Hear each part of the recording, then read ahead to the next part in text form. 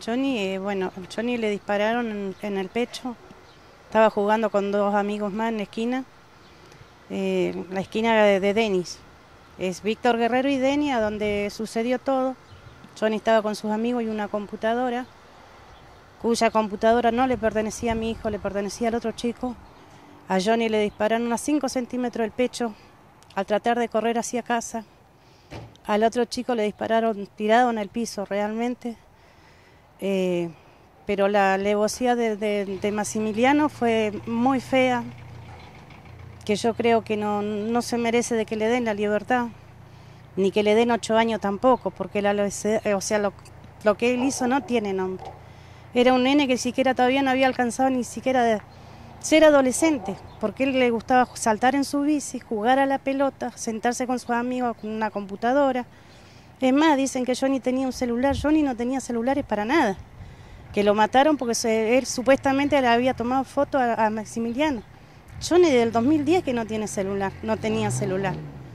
Él usaba el mío, que tampoco tiene cámara, tiene para llamar y mensajes nada más.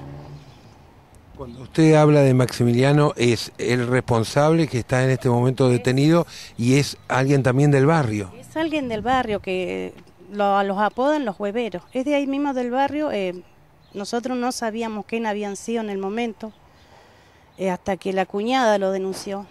La cuñada en Aluminé, ella lo denunció. Porque en la misma noche se dieron a la fuga, ayudado por la madre de Maximiliano, que pagó más de mil pesos para que lo trasladaran a Aluminé. Y la cuñada de él lo llamó a la policía diciéndole que Maximiliano con, ¿cómo se llama el otro chico? Gabriel Díaz, eh, discutían que decía, vos lo mataste, no, vos también tenés culpa. Entonces la chica agarró y llamó. Y ya ella ya le había llamado a otra amiga diciéndole que Maximiliano había matado a un chico y había herido a otro. Así que la cuñada de este chico ya estaba consciente de lo que había pasado acá. Pero en la misma noche se fueron. Y en el través de un agradecimiento a esta chica porque si no hubiese sido por ella, no los atrapa. Ella llamó enseguida a la policía y bueno, allá lo fueron a buscar a Maximiliano, que lo trajeron. Se comunicó enseguida la fiscal con nosotros, que ya estaban detenidos. Pero a mí, realmente a mí y a mi familia los arruinaron la vida. Porque Johnny para nosotros era todo. Era el más chiquito, era un nene que, que le gustaba jugar, no, no era un nene que le gustaba hacer maldad ni, ¿Qué edad tenía Jonathan? Jonathan tenía 16 años cumplidos recién. ¿Iba a la escuela? Sí, iba al, co al, colegio. Ese día había llegado 5 y 20 del colegio, que hacía mucha calor ese día, que yo lo cargaba porque andaba allí porque no les permiten pantalones cortos. Al rato toma una taza de té, se va a jugar con los amigos. Y bueno, ocho y media, ocho y media, ocho, nueve menos cuarto pasó todo esto, que no, no, no hacían segundo que nosotros lo habíamos visto pasar por el frente de la casa, jodiendo con los amigos, todo. Nunca los imaginamos de lo que iba a suceder. Este, este pibe que está detenido eh, es mayor de edad. Es mayor de edad.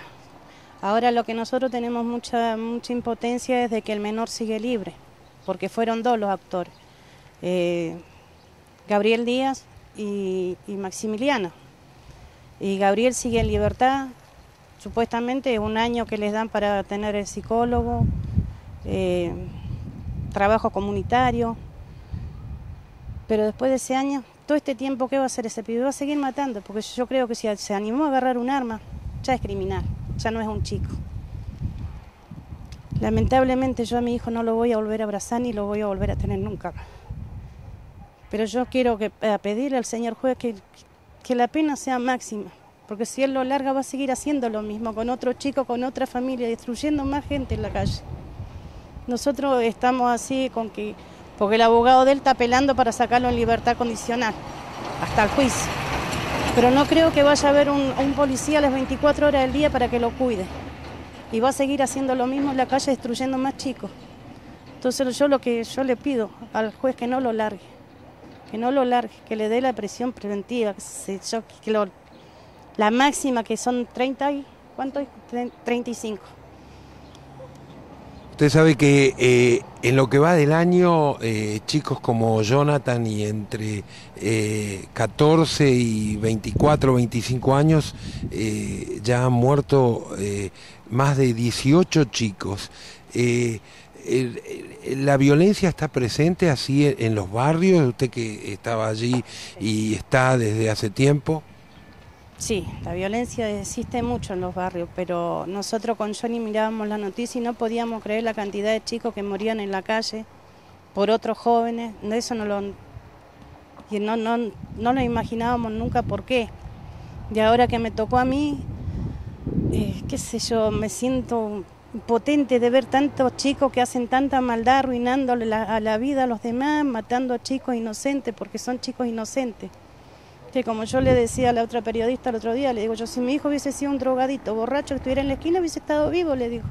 Pero como era chico de bien, bien en el sentido de que se lo crió bien para que sea, fuera educado así con sus mayores, con los amigos, que no fuera un chico malo. Y así entre la, la pobreza que nosotros tenemos, siempre lo criamos con respeto, respetando hacia sus mayores, a todo. Y bueno. Yo creo que los chicos buenos no viven. Hay, hay chicos que están en la calle todos los días en la esquina. Uno sale de acá y no se sabe si vuelve vivo, porque en la esquina están tomando, se están drogando, no, no, no hay un control. Entonces no, no, no sé, qué sé yo, hay, que hacer algo por la ley del menor, ¿no? Porque los menores son los que más daño están haciendo. En el juicio usted espera que, eh, bueno, todo esto salga a la luz y haya un, castigo para quienes mataron a su hijo. Sí. Yo en el juicio, eh, o sea, eh, esto que, lo sepa la mayoría de la gente, aquellos que perdieron a sus seres queridos, como yo lo perdí al mío, de que los apoyen en la marcha, de que los acompañen y de que pidamos que los menores sean castigados, tanto así como los mayores, porque si se animan a empuñar un arma ya no son menores. En el juicio nosotros pedimos que, él sea castigado, que tenga el castigo máximo porque él por hoy su mamá lo disfruta, yo al mío no lo disfruto. Y aún así ellos lo siguen amenazando, nosotros los ven ir al cementerio y lo siguen. Entonces, si, si ya me mataron a mi hijo, ya me hicieron demasiado daño y lo siguen haciendo daño, porque nosotros no podemos caminar hacia el cementerio porque los andan siguiendo. Así que no, no, no sé, pedirle a la justicia de que que actúe más, que, no se pasen entre cuatro o cinco como andan policías ahí, los chicos están en la esquina tomando y los dejan seguir tomando. Así que no, no, no sé, pedirle a la comunidad que los acompañe en la marcha ahora el 6, que se hace a las 5 de la tarde, los juntamos en el monumento y aquellos, aquellos familiares que perdieron a sus hijos, la, la mamá de la chica esta que mataron acá arriba, ¿cómo se llama? Eh, también que los acompañe porque ella también está luchando por su hija que la mataron y que, que ver si le dan luego el juicio, le hacen luego el juicio al, hombre este que le mató a su hija. Yo también estoy esperando eso y que ella los acompañe como todo padre, aquellos que perdimos nuestro hijo, que sabemos que no los vamos a volver a tener, que los vamos a tener que conformar con una foto para hacerle una caricia, darle un beso. Y las madres de aquellos criminales que los apoyan más encima, los apoyan, lo van a tener ahí para darle un beso, abrazarlo y nosotros no, ya no los vamos a tener. Eso es lo único que le pido a la gente que los acompañe.